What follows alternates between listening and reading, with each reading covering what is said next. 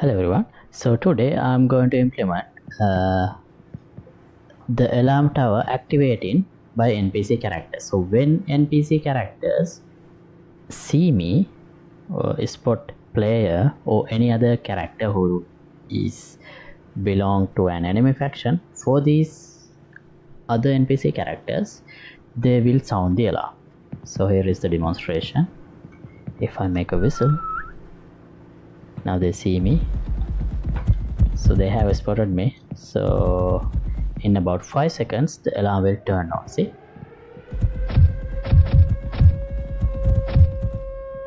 Right that's what i'm gonna work on today.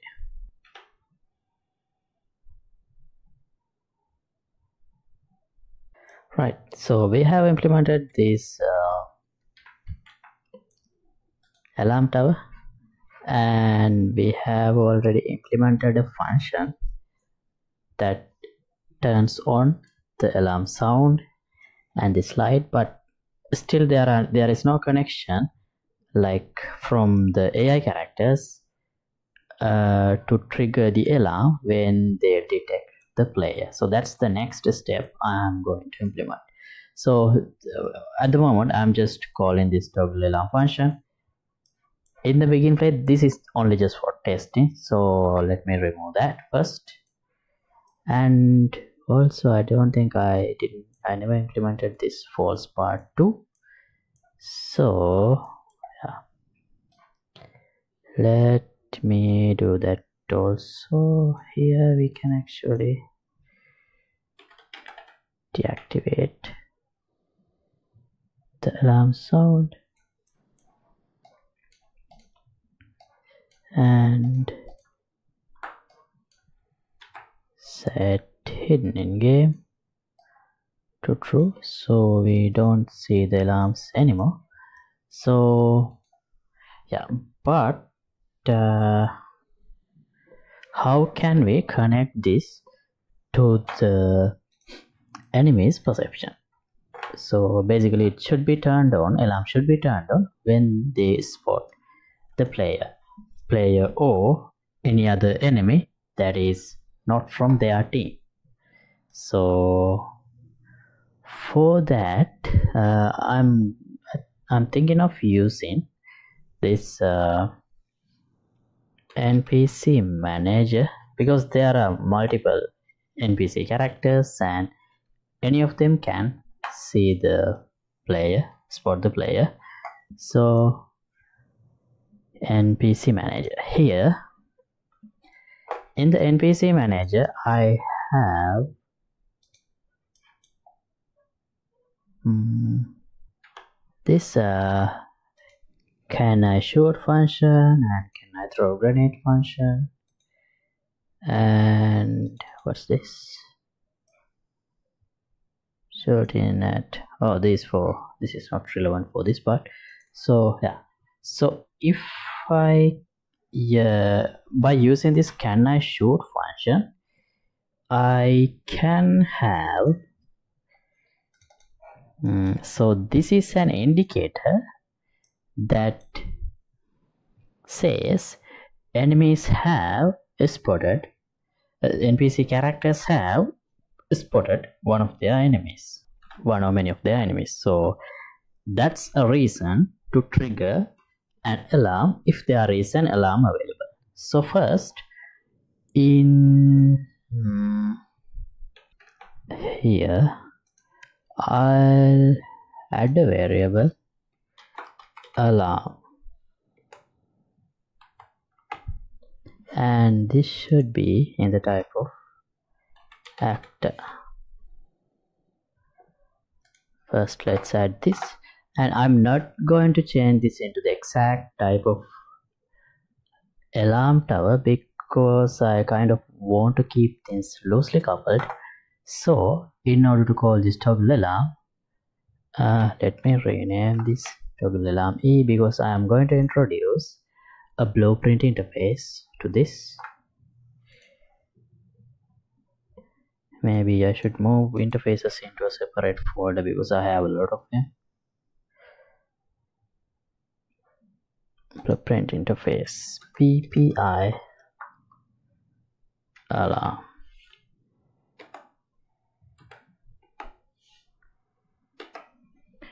here I'll add a function. Oh, we already have. Let me rename this. Toggle alarm with an input of enable. Okay compile. Save. Now let's implement that under class settings. BPI alarm all right now we should see it here. Toggle alarm and uh, uh, this is the reason I replaced uh, rename this event because I'm going to use the same name so it doesn't make any conflicts. So let's replace that custom event with this interface event. Okay now in the npc manager let's make this uh, public. And by doing that I can assign it assign it to a variable.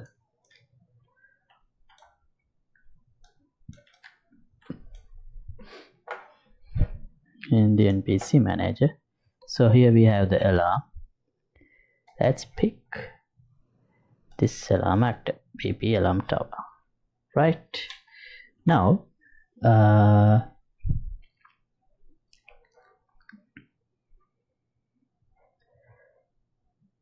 here in the npc manager. Um, uh, when we get this function can i shoot? I think we need another custom event to toggle the alarm. Actually we could just get this and check if there is a valid reference and call toggle alarm but uh, the reason i'm implementing a custom event for this is because maybe later on I need to introduce some delay. Because right away when an enemy see spot the player instead of toggle, uh, uh, turning on the alarm right away maybe we should have some delay. So to implement to keep room to implement things like that I'm gonna implement a custom event. The again I'll use the name toggle alarm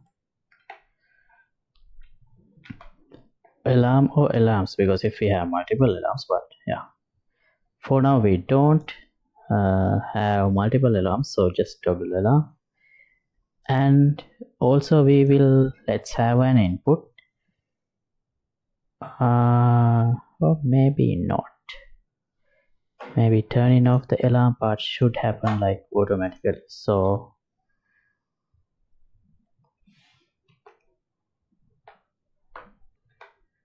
turn on. Alarm that would work. All right. Now here let's get a reference to the alarm and check if we have a valid reference.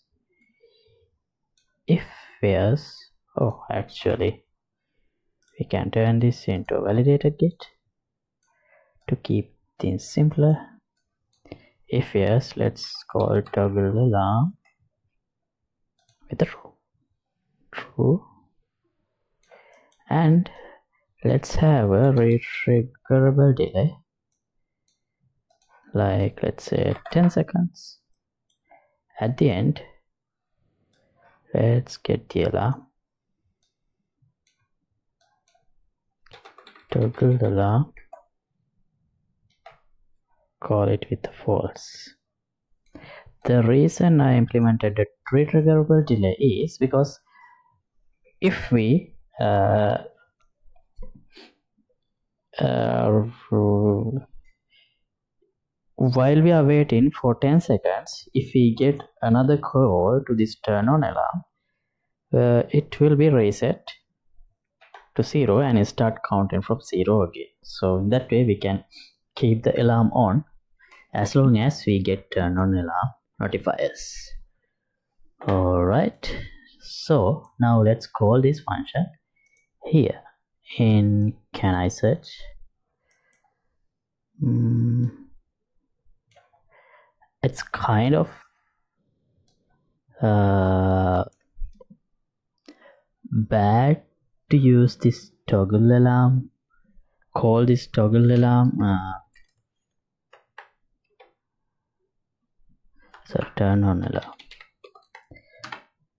I feels like it kind of bad to you call this turn on alarm inside here because can I search function name does not necessarily explain by the name itself that it is calling to an alarm also but yeah let's just make this work.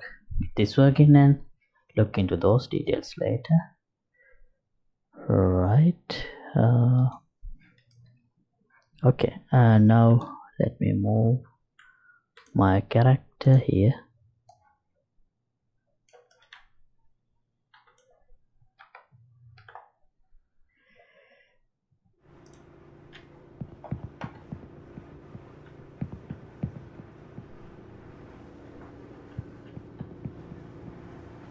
Okay identified but the alarm did not turn on. Why is that? Haven't I assigned the NPC manager for this guys? I have. Oh sorry. Not can I search I should have called it in can I shoot? This is can I search sorry about that. Uh, okay. Here. Turn on alarm.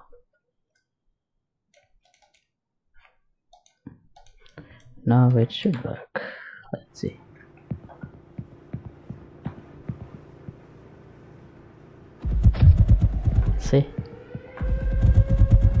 alarm starts working.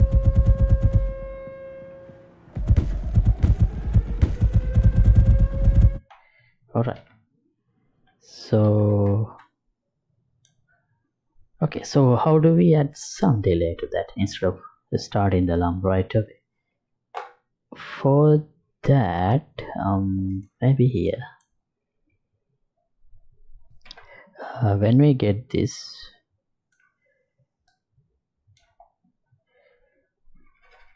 uh, input we can have let's uh, get world delta time seconds right? Let's do we have something like a variable that holds the last seen time? No? Okay then let's promote this to variable last seen time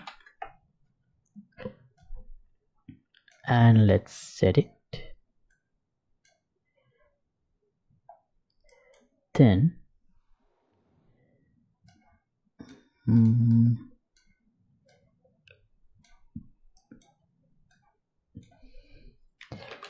let's have a do once node because I need I don't want to get to this part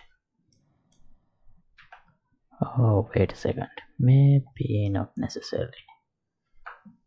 Let me think. Uh, what if I update this function this uh, here instead of here? No this will work. Let me get some space and add a delay of let's say so how long do we need to wait before the alarm turns on let's say five seconds. I don't want to make it longer. Uh, for testing purposes. And after that we can get the last seen time. And also we can get the current del world delta seconds. And subtract and check if we have spent. If it is greater than uh, 5 oh wait. In that case we might need something larger. So by doing this what i'm trying to ensure is that uh, we the enemy is still being spotted by uh, by npc characters. The enemy player player is still being spotted by npc characters. So like we haven't killed the guy who has spotted us right away. So that's what i'm going to ensure here. So if this is true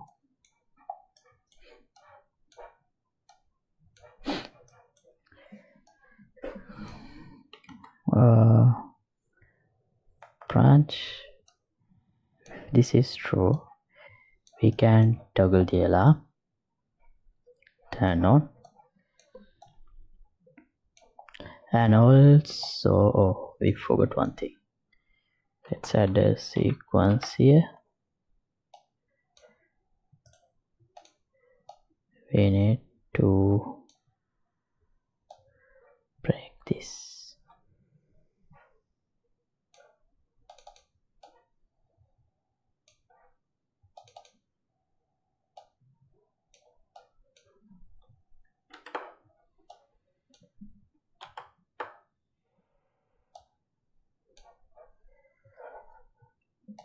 all right now if this is working as intended uh, if I kill the enemy who spotted me right away or if I hide right after when I get spotted the alarm should not trigger. But if I stay visible the alarm should be triggered. Anyway to any of those things to happen there will be 10 second window so let me kill this guy. Oh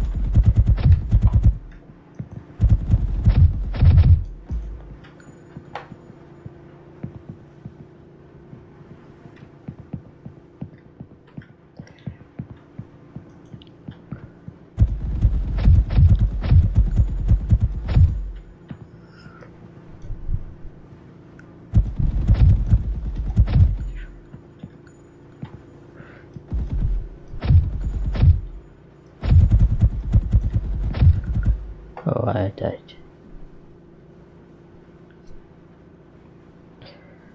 Did I spend more than 10 seconds here? Because the alarm didn't go off.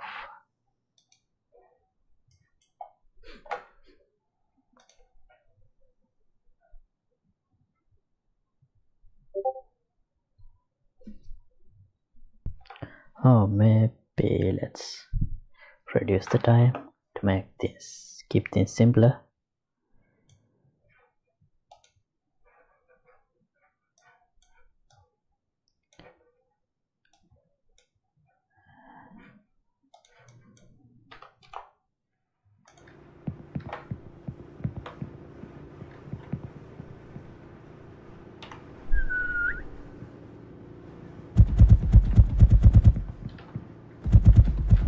let's see file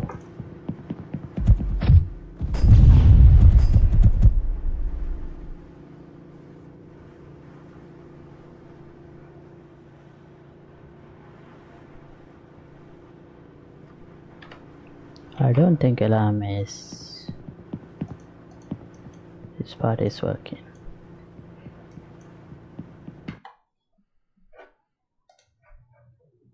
Let's see what happens. Let me just go here.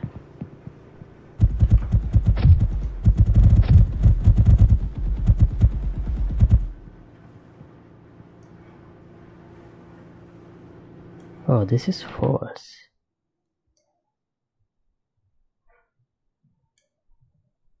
right. Uh, and actually the reason is uh, there are some delays inside the AI of the enemy character as well. So where do I go? This can I show? It let's see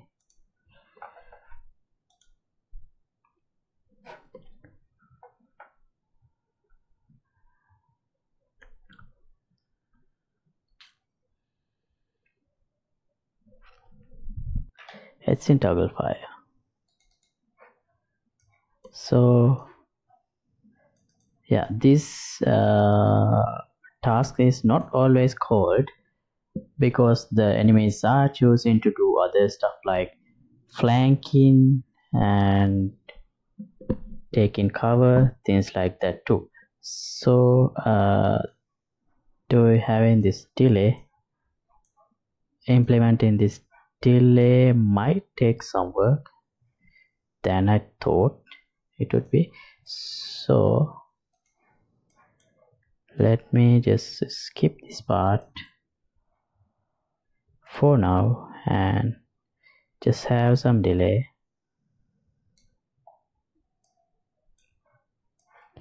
And toggle the alarm.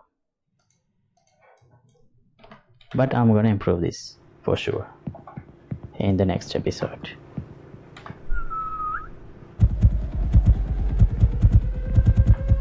Wait why didn't it wait for 5 seconds?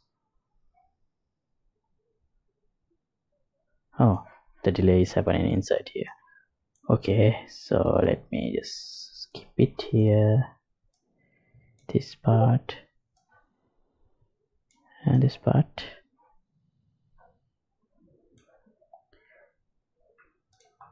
so this part is not used.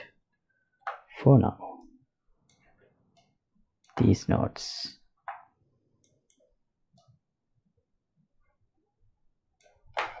alright but I will revisit this.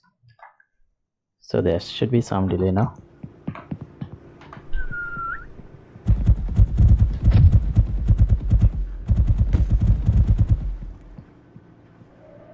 see turns on and things are working as intended. And I'm gonna stop this episode at this point. So thanks for watching. As always project files will be available here in the patreon page. Link would be in the description below. And see you in another episode. Goodbye